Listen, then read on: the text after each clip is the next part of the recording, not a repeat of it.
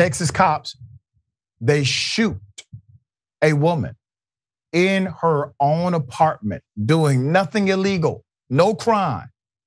Here it is.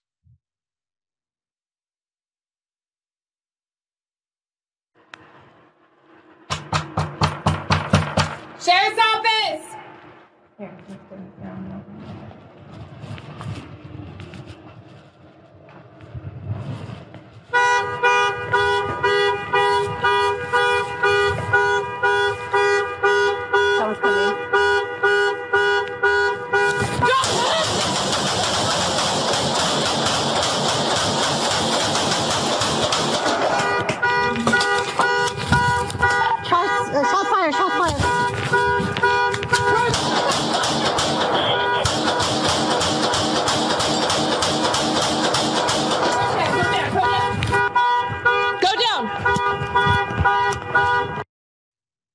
They're literally trying to kill anything that's moving. Put up the picture full of ass. Nobody committed a crime. Nobody was threatening the cops. They just started shooting. This is a hell of a story. Texas cops shoot a black woman through her apartment door. Ebony Pounchy, okay? Houston, Texas. Ebony was shot multiple times in her own home after being mistaken for an intruder. Miraculously, she survived the encounter. In the pre dawn hours of February 3rd, Harris County, Texas deputies approached a Houston apartment with guns drawn. The incident started when officers were called to an apartment complex in the middle of the night on a suspected intruder call. After arriving and finding nothing amiss, the deputies were approached by a resident who reported hearing glass break in an upstairs unit. Okay. LaRonda Berry rents the apartment where the shooting took place and says she had returned home with Ebony that morning. Quote, we realized we did not have the key. I told Ebony, go ahead and break the window, said LaRonda Berry, who also lives in the apartment. A short time later, Berry says she recalls a loud banging at the door. Ebony grabbed her gun, ran to the door. Once again, nothing criminal about any of this.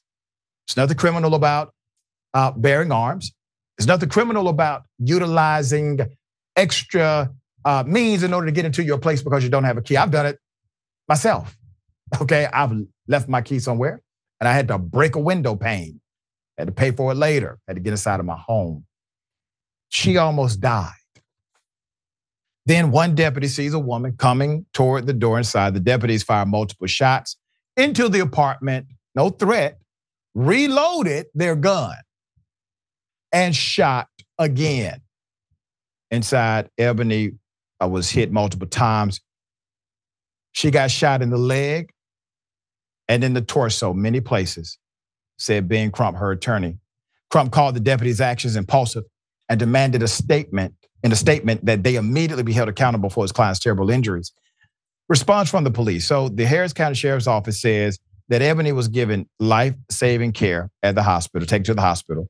They confirmed a handgun was found at the scene, and both they and the DA's office are investigating. The deputies involved are at administrative leave per de- department policy. Once their investigation is complete, the county sheriff's office will present their findings to the DA for review by an independent grand jury, put up the sheriff.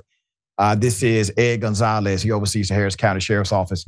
Um, now, Sheriff, you may be able to say, okay, they did not intentionally try to kill anybody, but this is absolutely criminal negligence. It's wanton endangerment, if nothing else. Uh, these are crimes. And I would imagine they probably fudged the police report. But what in the hell, man? People have the right to answer their door with a gun on their side. This is a constitutionally protected right.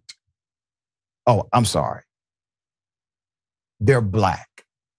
So that means they are criminals answering the door in their own home. Uh, Jackson, we did not hear any warning. We did not hear, drop the gun. Nothing. They just start shooting And and damn near killed this woman. and then reloaded. That was that was the craziest part of the whole thing. I mean, not that the whole video was di- wasn't difficult to watch, but the reloading and then the taking the time and then letting it out. Like you don't think you probably hit them already, but also too. I mean, this is Texas. Uh, people have guns legally in Texas. It's not even like you have the excuse of oh, we're in a state where you can't legally have those types of firearms. Right. So I mean, no matter how you look at this, I mean these th- these look like like people who like were posing as police officers, pretending to be, and like they shouldn't be doing the job whatsoever. I mean, how embarrassing is this to the police department? Not that they're ashamed of it, uh, but I mean, this just looks horrible. Nothing Yeah. about it was professional. There's nothing good to say about it whatsoever. Luckily, she survived, uh, but that easily could have not been the case because they unloaded uh, two whole clips on her. Yep. So, And uh, naturally, she's going to have her, her life is different, obviously. I mean, she was shot many times and shot in some very distinct places. So her life is completely different today than it was before she went to sleep that night. Uh, the police should be held accountable.